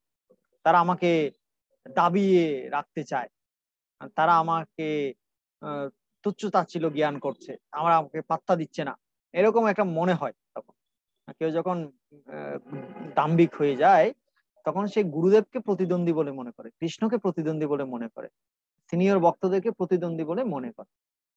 সেই জন্য ইন্দ্র এটা মনে করেছিল। ইন্দ্রের এই ভুল হয়েছিল। পরবর্তীতে সে ভুলটা বুঝতে পেরেছে। সে মনে করেছিল, ও, কৃষ্ণ একটা বাচ্চা শিশু হয়ে আমার প্রতিদ্বন্দ্বিতা করছে, আমাকে পূজাটা বন্ধ করে দিয়েছে সে আমার প্রতিদ্বন্দ্বী দেখাচ্ছে মনে আমার শক্তি বেশি না, কৃষ্ণের শক্তি বেশি। প্রথমে সে এরকম মনে করেছিল। পরবর্তীতে ভুলটা বুঝতে পেরেছে। সেই জন্য সে প্রার্থনা করেছে, হে প্রিয় ভগবান মিথ্যা অহংকার স্ফীত হওয়ার ফলে আমি মনে করেছিলাম, গোপদেরকে ইন্দ্রযজ্ঞ করতে না দিয়ে আপনি আমার প্রতি অপরাধ করেছেন। আমি ভেবেছিলাম উৎসর্গের জন্য আমার যে যে সমস্ত ভোগ সামগ্রী দিয়ে আমাকে পুজো করার জন্য তারা রাজি হচ্ছিল, সেগুলো আপনি নিজে ভোগ করতে চেয়েছে, চাচ্ছেন, সেটা আমি মনে করেছিলাম। আমি ভেবেছিলাম গোবর্ধনের পুজো, পূজা করার নাম করে আপনি নিজের পূজা করবেন। আমার ভোগে ভোগ বসাচ্ছেন আপনি, আমার ভোগে আপনি ভাগ বসাচ্ছেন। তা এখন আপনার কৃপায় আমি আমার ভুলটা বুঝতে পেরেছি।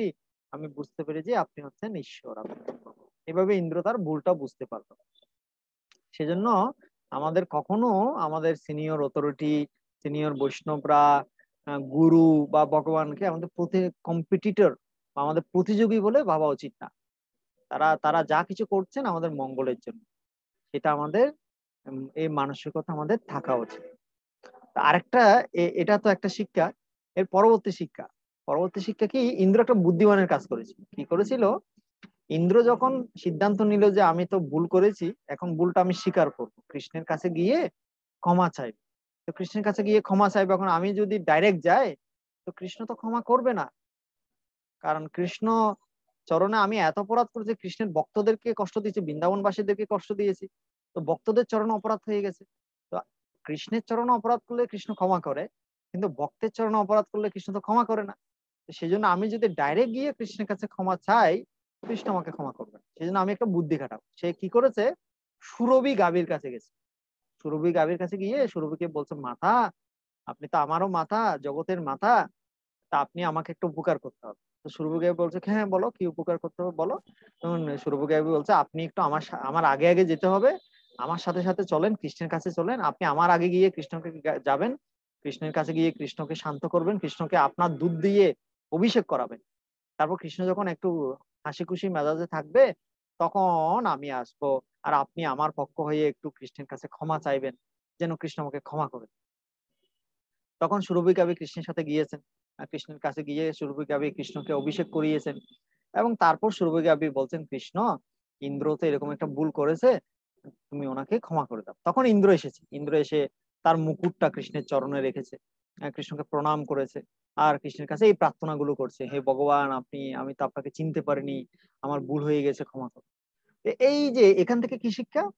যে, যদি কোনো কারণে আমরা ভুল করে ফেলি, কোনো বৈষ্ণবদের চরণে বা ভগবানের চরণে, গুরুদেবের চরণে অপরাধ হয়ে যায়, তখন সরাসরি আমি ক্ষমা না চেয়ে অন্য অন্য কোনো সিনিয়র বৈষ্ণব যাকে ভগবান পছন্দ করে বা গুরুদেব পছন্দ করে, এরকম কোন বৈষ্ণবকে সাথে নিয়ে যাওয়া উচিত।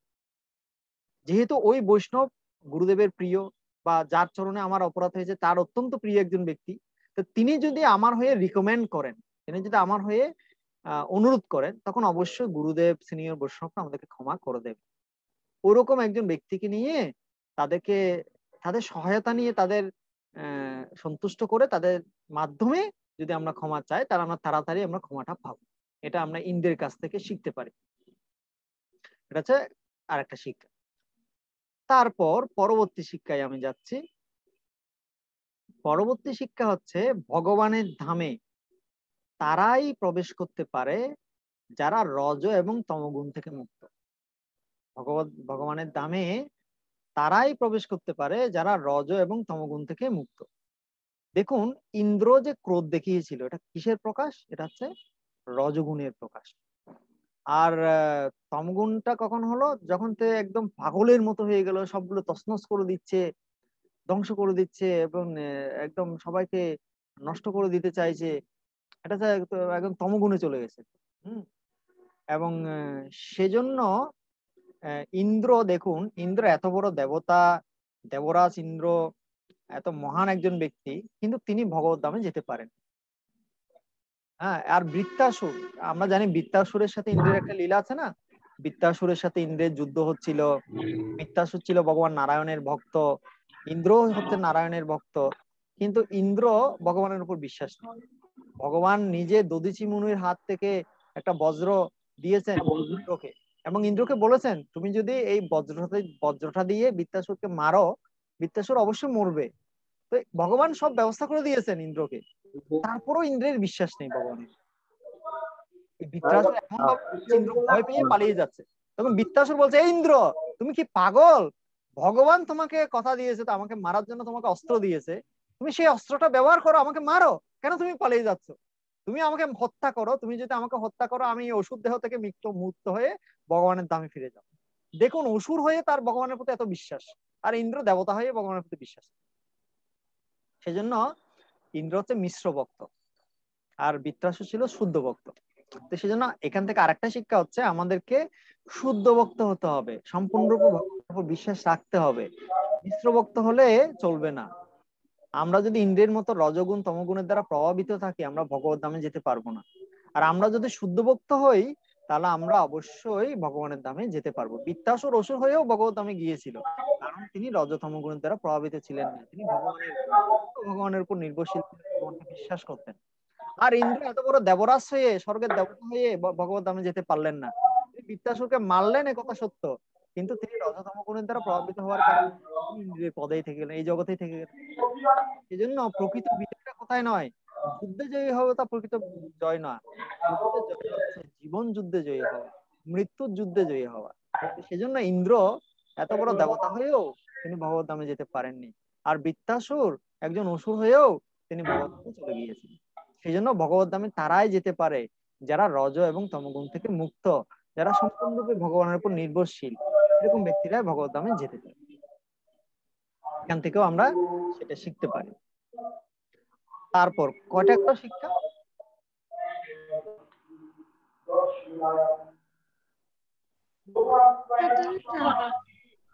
কয়টা? ষোলোটা? আঠারো। আঠারোটা হয়ে গেল? ও আরও তো অনেক আরও অনেকগুলো আছে। আমি বলেছিলাম যদি আমি বিশটা নাম দিয়েছি কিন্তু এখানে বিশটা না আরও অনেক বেশি শিক্ষা আছে। দেখি। আর বেশিক্ষণ বলব না, আপনাদেরও একটা টাইমের একটা ব্যাপার আছে। তো সেজন্য দেখি আর কয়েকটা বলে শেষ করে দেবো। পরবর্তী শিক্ষা হচ্ছে যে কেউ যখন অপরাধ করে ভগবানের চরণে, ভগবান অনেক সময় সরাসরি শাস্তি দেন না, কিন্তু তিনি মিথ্যা অহংকারটা নষ্ট করে দেন। ভগবান কেউ যখন গর্বিত হয়ে যায়, দাম্ভিক হয়ে যায় ভগবান হয়তো সরাসরি শাস্তি দেবে না কিন্তু এমন একটা পরিস্থিতিতে ফেলবে এমন একটা পাকে ফেলবে ওই পাকে ঘুরতে গিয়ে মিথ্যা অহংকারটা নষ্ট হয়ে যায় ইন্দ্র এত বড় দেবতা ছিল ভগবান ইন্দ্রকে শাস্তি কিন্তু এমন একটা কাহিনী ভগবান নাটক রচনা করেছেন সেই রচনার সেই নাটকে পড়ে ইন্দ্রের অহংকারটা চূর্ণ হয়ে গেছে। ইন্দ্র প্রার্থনা করছে হে প্রভু আপনি হচ্ছেন সমস্ত জগতের পিতা আপনি সমস্ত জগতের পরম গুণ সবকিছুর পরম অধীশ্বর, মহাকাল রূপে আপনি অত্যন্ত সুদক্ষ রূপে অপরাধীদের দণ্ডদান করেন। এই জগতে আমার মতো বহু মূর্খ রয়েছে যারা নিজেকে পরম ঈশ্বর বা সর্বে সর্বা মনে করে। আপনি এত করুণাময় যে তাদের সে অপরাধের দণ্ড না দিয়ে আপনি তাদের গর্বকে খর্ব করার আয়োজন করেন, যাতে তারা বুঝতে পারে যে আপনি হচ্ছেন সর্বলোক মহেশ্বরম, আপনি হচ্ছেন পরমেশ্বর ভগবান। তো এটা মনে করবেন না একজন ব্যক্তি অনেক অহংকারী হয়ে গেছে, দাম্ভিক হয়ে গেছে, আর ভগবান কোনো শাস্তি দিচ্ছে না তাকে। ভগবান শাস্তি এখন দিচ্ছে না। উপযুক্ত সময় হলে এমন একটা চক্রে তাকে ফেলবে না, একদম একদম উচিত শিক্ষা সে পেয়ে যাবে। বুদ্ধিমান ব্যক্তিরা তারা কোনো কিছুর জন্য গর্ব করে না। তারা সবকিছু ভগবানকে, গুরুদেবকে, সিনিয়র বৈষ্ণবদেরকে তারা ক্রেডিট দেয়। হ্যাঁ ক্রেডিটটা হচ্ছে কিসের ক্রেডিটটা হচ্ছে গরম আলুর মতো। গরম আলু যদি হাতে নেন, হাতে ফোসকা পড়ে যাবে। সেজন্য সেটা পাস করে দিতে হবে। সেরকম ক্রেডিট যদি আপনি রেখে দেন, সেটা আপনার দম্ভের কারণ হবে। আপনার হৃদয়টা অহংকার স্ফীত হয়ে যাবে। সেজন্য সেটাকে ক্রেডিট যখন কেউ আমাদের প্রশংসা করবে, পুজো করবে, সম্মান করবে, সেটা গুরুদেবের কাছে দিয়ে দিতে হবে। কৃষ্ণের কাছে দিয়ে দিতে হবে। তা না হলে ইন্দ্রের মতো আমরা অহংকারী হয়ে যেতে পারি। তারপর বিশ নম্বর শিক্ষা। শিক্ষা হচ্ছে, ভগবান এবং তার প্রতিনিধিদের অধিকার আছে আমাদেরকে শাসন করার। আমাকে শাসন করার অধিকার একজনকে দিতে হবে। এবং আমাদের গুরুদেব বা আমাদের অথরিটি বা আমাদের ভগবান যদি আমাদেরকে শাসন করে, সেটা আমাদের জন্য আশীর্বাদ বলে মনে করতে হবে। সেটাকে এটা মনে করবে না যে তার নিষ্ঠুর আমাকে কষ্ট দিচ্ছে আমাকে লাইক করে না আমার উন্নতি সহ্য করতে পারছে না এরকম মনে করবেন। মনে করবেন? এটা আমার আশীর্বাদ। তারা আমাকে বকা দিচ্ছে। আরে এই জগতে কত লোক আছে বলেন তো যে ভগবানের বকা খেতে পারে? এমন কে আছে যে ভগবানের বকা খায় গুরুদেবের বকা খায় এরকম কে আছে? বিদ্যা পুণ্ডরিক বিদ্যানিধিকে জগন্নাথ রাতের বেলা এসে থাপ্পড় মেরেছে। আর পুণ্ডরিক বিদ্যানিধি আনন্দে নাচছে। ভগবান থাপ্পড় মেরেছে। কত আর কত সৌভাগ্যের কথা ভগবান থাপ্পড় মেরেছে। ভগবানের থাপ্পড় কয়জন খেতে পারে? তো আপনি সৌভাগ্যবান বলে সিনিয়র বক্তা আপনাকে থাপ্পড় মারছে, আপনাকে বকা দিচ্ছে। এটা সৌভাগ্য। একবার আমার একজন শিক্ষাগুরু, তিনি আমাকে একটা গুরুত্বপূর্ণ কথা বলেছেন, যেটা আমাকে ভালো লাগেছে। আমার খুব মনে আছে এখন। তো উনি আমার শিক্ষাগুরু আমাকে বলছে, দেখো মূর্তিমান, দেখো, যদি তুমি দেখো যে এই তুমি ভক্তি জীবনে আসার পরে সবাই তোমাকে প্রশংসা করছে সবাই তোমাকে গুণগান গাইছে। তাহলে মনে করো সামনে তোমার জন্য ঘূর্ণিঝড় অপেক্ষা করছে। তোমার জন্য সাইক্লোন অপেক্ষা করছে। তোমার ভক্তি একদম তসনস হয়ে যাবে। তোমার জন্য বিপদ অপেক্ষা করছে। সবাই যদি তোমার গুণগান করে, প্রশংসা করে, তার মানে বুঝে নিও সামনে তোমার জন্য বড় ধরনের বিপদ অপেক্ষা করছে। আর সবাই যদি তোমার নিন্দা করে, সবাই তোমার বদনাম করছে, নিন্দা করছে, তোমাকে অপমান করছে, জ্বালাতন করছে, তাহলে বুঝে নিও তোমার জন্য ভবিষ্যৎ খুব উজ্জ্বল। সামনে তোমার জন্য উজ্জ্বল ভবিষ্যৎ অপেক্ষা করছে। এরা এগুলো নিন্দা, অপমান নয়, এগুলো তোমার উপর ওরা আশীর্বাদ করছে। এইভাবে তুমি দর্শন করো। তো সেজন্য এটা হচ্ছে আমাদের গুরুত্বপূর্ণ শিক্ষা যে আমাদের কে শাসন করার অধিকার রয়েছে তাদের। তারা যদি শাসন করে, এটা আমার আশীর্বাদ। এভাবে। ঠিক আছে? একুশ নম্বর শিক্ষা। ভগবান এই পৃথিবীতে অবতরণ করেন মূর্খদেরকে শিক্ষা দেওয়ার জন্য যে তোমরা কখনো ভগবান হতে পারবে না, একমাত্র আমি হচ্ছি ভগবান। সবাই কর্তা হতে চায়, ভোক্তা হতে চায়, নিয়ন্তা হতে চায়। ভগবান এই গোবর্ধন লীলার মাধ্যমে গোবর্ধন পর্বতকে ধারণ মাধ্যমে ভগবান শিক্ষা কর্তা নও, ভোক্তা নও, নিয়ন্তা নও। আমার অধীন আমি প্রকৃতির তিন গুণের মাধ্যমে তোমাদেরকে নিয়ন্ত্রণ করছি। তোমরা ভগবান হতে পারবে না, কখনো হবে না। এটা আমি আগেও একবার বলেছি, সেজন্য আর এত ব্যাখ্যা করছি না। তারপর একটা গুরুত্বপূর্ণ শিক্ষা হচ্ছে, যে মূর্খের মতো আচরণ করছে, তার কর্তব্য হচ্ছে ভগবানের কাছে গিয়ে নিজের মূর্খতাটা স্বীকার করা।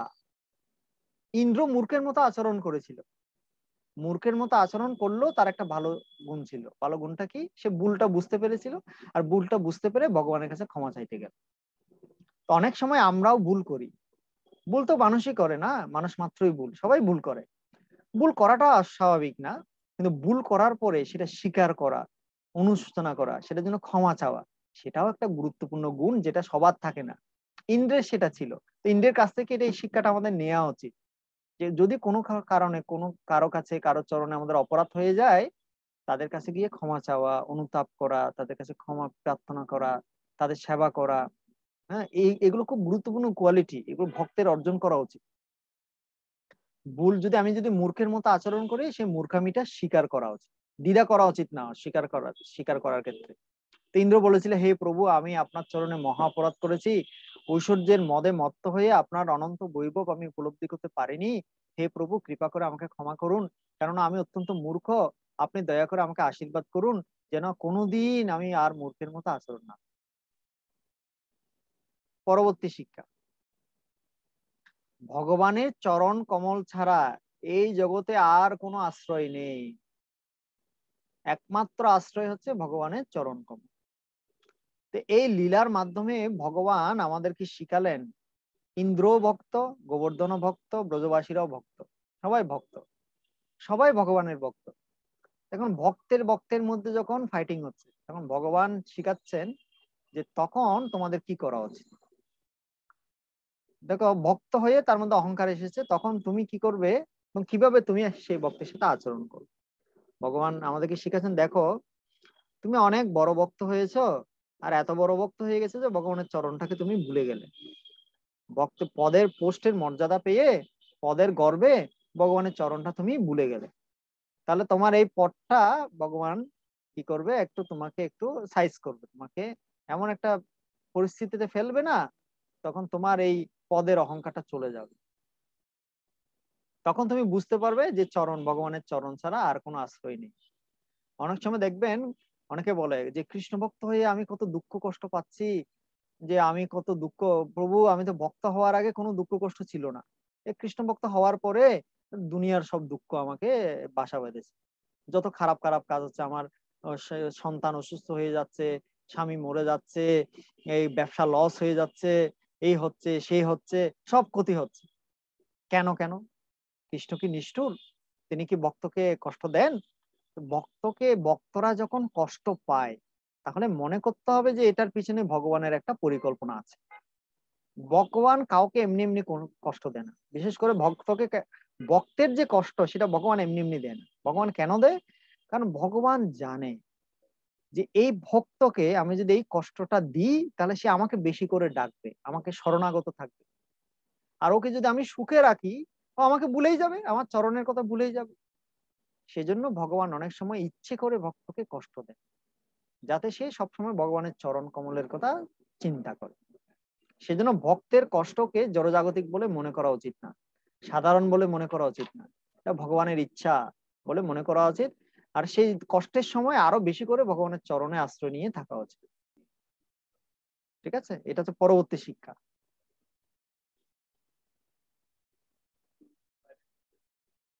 তারপর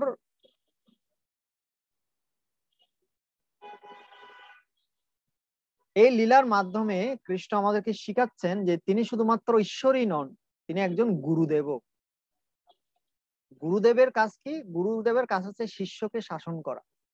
শিষ্য শব্দের অর্থ কি? শিষ্য শব্দের মত মানে যে গুরুদেবের শাসনের অধীন, তাকে বলা হয় শিষ্য। এই লীলাতে কৃষ্ণ গুরুদেবের ভূমিকা পালন করেছেন আর ইন্দ্র পালন করেছে শিষ্য ইন্দ্র মূর্খ শিষ্যের মতো আচরণ করেছে, অহংকারী হয়ে। আর কৃষ্ণ গুরুদেবের মতো কৃষ্ণ ওই ইন্দ্রকে শাসন করেছে, তার ভুলটা সংশোধন করে দিয়েছে।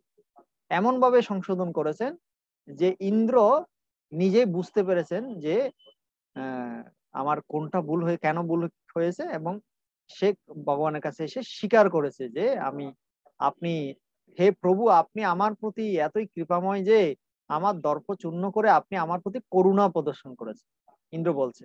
তাই আমি আপনার শ্রী পাদপত্মে আশ্রয় গ্রহণ করছি। হে প্রভু, আপনি কেবল ভগবানই নন, আপনি সমস্ত জীবের পরম গুরুদেব, কারণ আপনি আমাকে সংশোধন করেছেন। সেজন্য ভগবান শুধু ঈশ্বরই নন, তিনি যে গুরুদেবের ভূমিকাও পালন করেন। প্রত্যেকের হৃদয়ে ভগবান পরমাত্মা রূপে আছেন এবং ভগবান জানেন কার হৃদয়ে কখন কি অহংকার জন্মাচ্ছে। আর সে অনুসারে ভগবান এমন ভাবে কিছু ঘটনা ঘটান তিনি আমাদের গুরুর মতো আমাদেরকে সংশোধন করেন। এই লীলার মাধ্যমে কৃষ্ণ সমস্ত জীবদেরকে কিছু উপদেশ দিচ্ছেন। কি উপদেশ দিচ্ছেন? কৃষ্ণ উপদেশ দিচ্ছেন, আমি কেবল তোমার প্রভু নই, আমি শুধু তোমার প্রভুই নই, সমস্ত দেবতাদের প্রভু। আমি শুধু তোমাদের প্রভু নয় মানুষের প্রভু নয় অহম আদিহি দেবানাম মহর্ষি নাম চ সর্বস্ব সমস্ত দেব দেবীদের দেবতারা আমার অধীন, আমি সমস্ত দেবতাদের প্রভু। তোমরা কেউ প্রভু হওয়ার চেষ্টা করো না। প্রপাত বলছেন, তোমাদের কি কেউ যখন প্রভু বলে ডাকে প্রভু বলে ডাকাটা শুনো, অন্যদেরকে প্রভু বলে সম্বোধন করো, কিন্তু নিজে প্রভু হতে যেও না। প্রভু হতে গেলেই বিপদ। নিজে সবসময় দাস হয়ে দেখো তো কেউ যখন প্রভু বলে ডাকবে, তুমি মনে করবে না যে আমি প্রভু হয়ে গেছি। তুমি মনে করবে সে হচ্ছে প্রভু আর আমি হচ্ছে তার দাস। এটা তুমি মনে করো। তো প্রভু হয়ে, প্রভু হতে যেও না, প্রভু হলেই বিপদ। তারপর কৃষ্ণ এই লীলার মাধ্যমে আমাদেরকে শিখাচ্ছেন যে তোমরা সব সময় তোমার সব সময় মনে রাখা উচিত যে তোমার যে ঐশ্বর্য সেটা তুমি আমার কৃপায় পেয়েছ।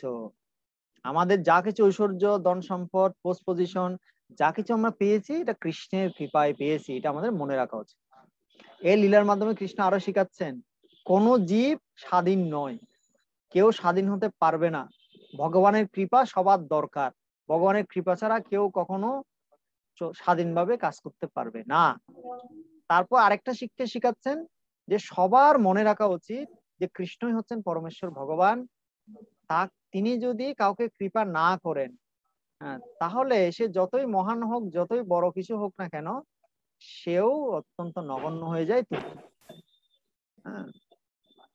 তিনি যা যে কোনো ব্যক্তিকে করুণা দেখাতে পারেন শাসনও করতে পারেন সবাই তার শাসনের অধীন কেউ তার থেকে বড় নয় তারপর এই লীলা থেকে আরেকটা শিক্ষা হচ্ছে যে কেউ যখন অহংকারে আচ্ছন্ন হয়ে পড়ে, তখন ভগবান অহৈতুকী কৃপা করে তার ঐশ্বর্যগুলো হরণ করেন।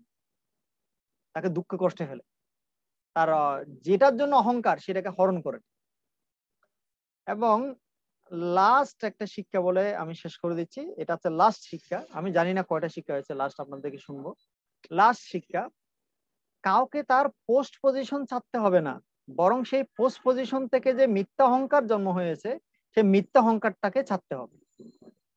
তো ইন্দ্রের অহংকার হয়েছিল। তো কৃষ্ণ তাকে এমন ভাবে শিখালেন, ইন্দ্রের অহংকারটা চূর্ণ হয়ে গেল।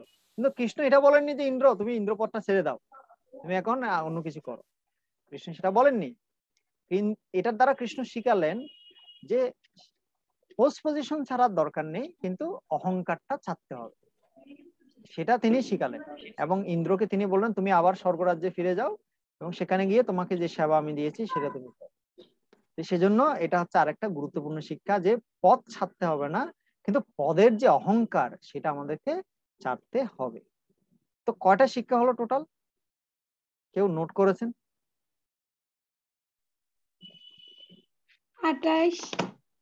আঠাশটা ওকে। তো ঠিক আছে আমি এখানে রাখছি। আমি বলেছিলাম গোবর্ধন লীলা থেকে বৃষ্টি শিক্ষা। আমি কাহিনীগুলো মানে কি ঘটেছিল কিসের পর সিকোয়েন্স অনুসারে কাহিনী আমি বলিনি। মেইন মেইন শিক্ষাগুলো আমি আলোচনা করেছি। তো যদি আপনার ভালো লাগে তাহলে অন্যদের সাথে শেয়ার করবেন আহ, এবং অন্যদেরকে বলবেন প্রচার করবেন তাহলে এই প্রয়াস সার্থক হবে। সবাই ভালো থাকুন সুস্থ থাকুন কৃষ্ণ ভবনে থাকুন। হরে কৃষ্ণ হরে কৃষ্ণ কৃষ্ণ কৃষ্ণ হরে হরে। হরে রাম হরে রাম রাম রাম হরে হরে। শিল প্রপাত কি জয় শিল গুরু মহারাজ কি জয় গৌরাঙ্গ হরে হরে